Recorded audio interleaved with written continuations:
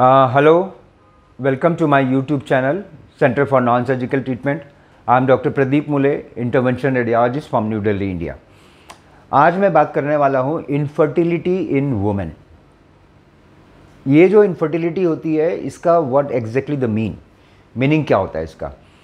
इन, यदि एक कपल एक साल तक बिना प्रोटेक्शन के फ़िज़िकल रिलेशनशिप में रहते हैं और फिर भी बच्चे नहीं होते तो इसको लेबल किया जाता है इनफर्टिलिटी इंडिया में इनफर्टिलिटी का जो कॉमन जो कॉज होता है, वो होता है फेलोफिन ट्यूब ब्लॉक हो गया. Blocked fallopian tube this is a common cause और अभी तक जो ये बंद जो ट्यूब होती हैं, इसका जो ट्रीटमेंट होता है, वो सर्जिकल ट्रीटमेंट होता था. सर्जिकल ट्रीटमेंट के अलावा और भी बहुत सारे अच्छे ट्रीटमेंट होते हैं एक नॉन सर्जिकल ट्रीटमेंट होता है, बहुत लेटेस्ट है वो, जिसको बोलते हैं फेलोफिन ट्यूब रिकैनुलेशन और देखा जाए तो फेलोफिन ट्यूब होता क्या है? एक जनरल नॉलेज के लिए फेलोफिन ट्यूब जो होता है, एक बहुत पतला सा ट्यूब होता है, जो ओवरी से लेके यूट्रस जो बच्चादानी होती है, वहाँ तक कनेक्टेड होता है. ओवरी का काम होता है कि ओवम निकालना, अंडा निकालना, और वो अंडा निकल के जाता है फेलोफिन ट्यूब में, और स्पर्म जब नीचे से आएगा यूट्रस से तो फेलोफिन ट्यूब जो होता है, उसमें फर्टिलाइजेशन होता है। और फर्टिलाइजेशन होने के बाद में जब फर्टिलाइज हो गया एग और स्पर्म आपस में मिलके फर्टिलाइज बन गया तो वो धीरे धीरे करके माइग्रेट होता है यूट्रस में और यूट्रस में वो जो प्रेगनेंसी होती है। तो this is the fallopian tube.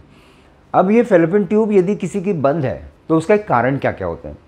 Common most common जो कॉज होता है, वो होता है एक तो ट्यूबरकुलोसिस इन पेल्विस टीबी जो होती है, यदि पेल्विस में है तो ट्यूब बंद हो सकता है। Endometriosis uterine fibroid uterine adenomyosis और यदि मान लो कभी किसी की कोई प्रीवियस सर्जरी हुई है, जैसे सीजेरियन सेक्शन है, और यदि कोई पेल्विक सर्जरी हुई है तो उसमें भी हो सकता है कि ट्यूब बंद हो जाए। ये जितनी सर्जरीज होती है सर्जरी में स्कार भी होता है। स्कार के कारण से भी हो सकता है कि फेलोपिन ट्यूब बंद हो जाए। इसका जो बंद फेलोपिन ट्यूब होती है, जो ब्लॉक फेलोपिन ट्यूब होती है, इसका ट्रीटमेंट के ऑप्शंस क्या क्या हैं?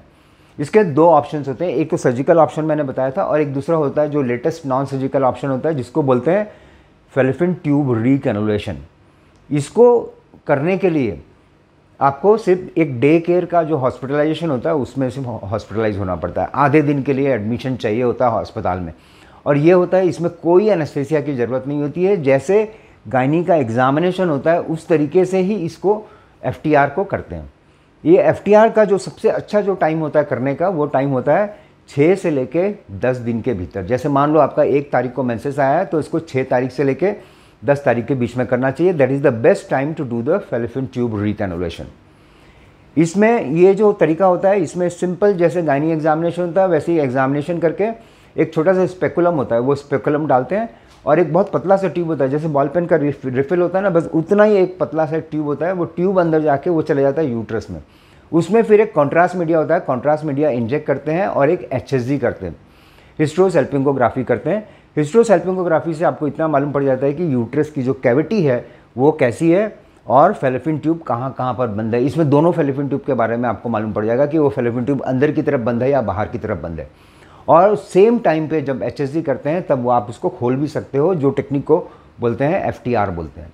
एक पतला सा ट्यूब होता है, और उसके अंदर एक बहुत पतली सी वायर होती है, वो वायर को उसके अंदर से पास करते हैं तो ये ट्यूब खुलने का चांसेस होता है।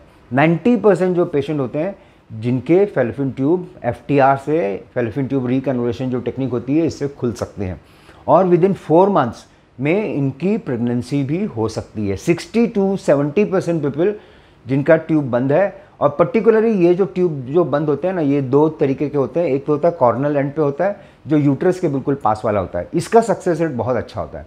जो डिस्टली जो बंद होते हैं, जो ओवरी के एंड वाला जो फेलोफिन ट्यूब होता है, उधर यदि बंद होता है तो उसको खोलना थोड़ा सा मुश्किल होता है, क्योंकि उसमें स्कार टिश्यू बहुत ज़्यादा होता है। तो ये एफटीआर जो होता है fallopian tube recanalisation is the best for cornual blocks जो कॉर्नल ब्लॉक ये सर्जरी में बहुत मुश्किल होता है बट ये एफ़ के लिए this is the one of the best technique इसका यदि एडवांटेज देखा जाए तो over the surgery and the non surgical technique that is the FTR एक तो ये बहुत ईजी टेक्निक है, इसमें कोई एनेस्थेसिया की ज़रूरत नहीं होती है, सिर्फ़ आधे दिन का एडमिशन होता है इसमें।